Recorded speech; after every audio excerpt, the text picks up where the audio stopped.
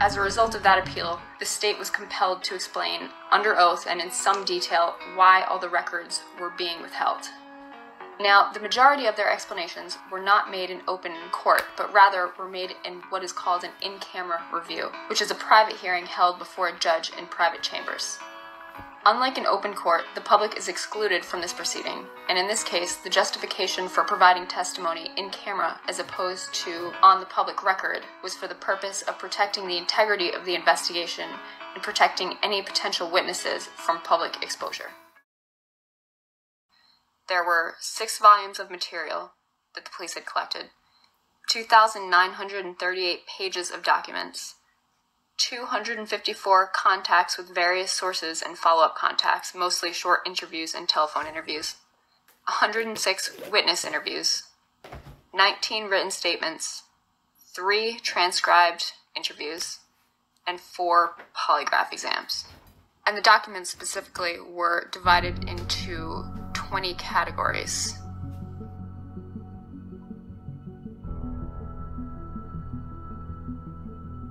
It's my understanding that the state has not even conceded that this is a criminal investigation. Shouldn't that be the least the state should do as, as a premise underlying the problem?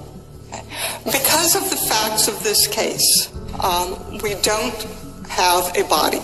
We don't can't say for sure if, if Maura Murray is alive somewhere.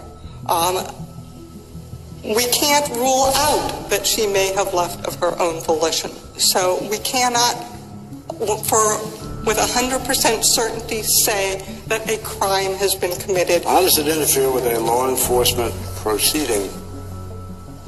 How does a disclosure interfere with a law enforcement proceeding? What other reasoning could they have for withholding dispatch logs? I mean, they specifically say police's response to the scene. If I didn't know anything about this case, what I would think is, oh, well, that night the police were talking to people and searching places that were part of what became the investigation. You know, that would seem plausible if you didn't know anything. But knowing that they didn't have any leads at that point, or it seems like they didn't, then I don't know what that's referring to. It gets a little bit more specific and it says to the extent that there are records of the reports of the Murray vehicle accident and law enforcement response to the scene. These records would pinpoint the focus of the investigation or provide valuable information that could be used by a suspect to avoid detection, thereby damaging the investigation for the reasons stated in the affidavits of Landry and Strauss. Yeah. So, I mean, that states very clearly the reason they're withholding them is because they'll pinpoint the investigation and provide information to a suspect. Right, there's content. Which again is crazy to me because it's like, who were you Yeah. talking to that night, or, or that you were searching some specific area could be used by a perpetrator to avoid detection? I'm like, how does that square with the fact that that you didn't actually do any kind of search for 48 hours after this? Yeah, it doesn't it doesn't square.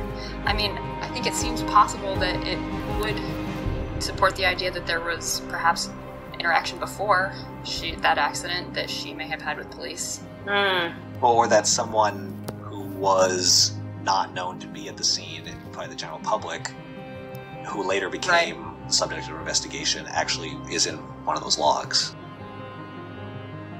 It is a puzzle. Kelly and about a dozen other private investigators are now volunteering their time to help solve this puzzle, looking for any clues. There is a considerable amount of traffic up and down this road.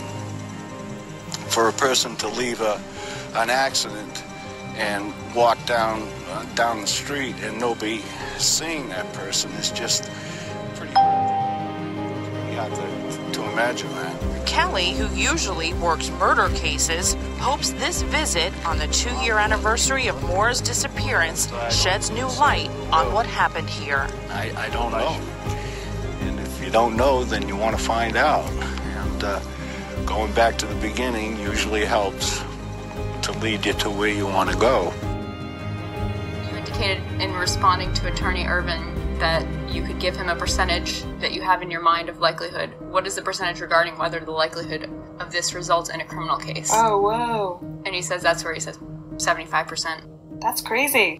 Yeah, I wanted to get your take on that, Mary, because that seems like I would have thought he would have been resistant to give that number. I mean, that's such an interesting choice to give that number. Um, I don't know why they said it. Maybe it's true. Um, I mean, he's under oath. Sure. I, I just think it's it's um, it's interesting that they would say that.